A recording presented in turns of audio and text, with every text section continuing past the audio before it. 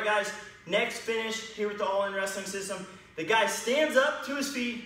You have a lock, okay? Maybe you were trying the side lift like this. Maybe you were trying this and he was blocking you out. He wasn't letting your hips come around, okay? He was blocking your hips here from coming around, okay? And this is an unfortunate story that I share somewhere else when I don't have as much time and I don't want to waste your time. But I was wrestling Kyle Dake in the quarterfinals and he hit this lift on me multiple times and it was kind of tough, uh, tough one to swallow because I couldn't get out. Now, I learned it, now I'm teaching it to you. Right here, okay? He's blocking my hips, so my hips are parallel. My hips are in this position. It's like freestyle position. I go suplay. Okay, so that's a suplay. That's what I'm gonna do. I'm gonna go for the suplex. I'm going the way back, but I can't because it's not legal to go all the way back in collegiate. So what I'm gonna do is I'm gonna turn.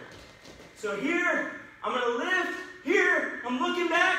I'm trying to pop his feet out. Here, boom, right there. And then I'm gonna turn. Here, turn to this position. He stands up, here, okay? I lift, big lift, here, and then turn. Here, and turn. Looks like I'm going suplay, I turn.